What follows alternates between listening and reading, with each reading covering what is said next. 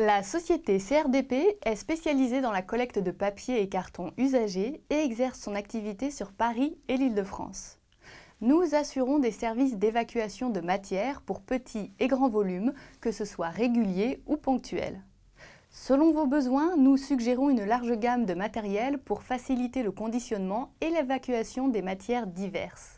Nous proposons un service de mise en destruction pour tout document confidentiel qui seront détruits par un système de broyage garantissant l'élimination des documents. Afin de garantir les documents détruits, nous fournissons un certificat de destruction.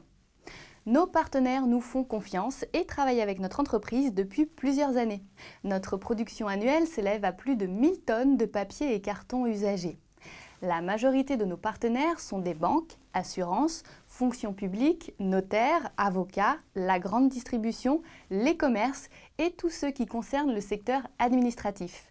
Nos qualités se résument en trois mots, fidélité, ponctualité, efficacité.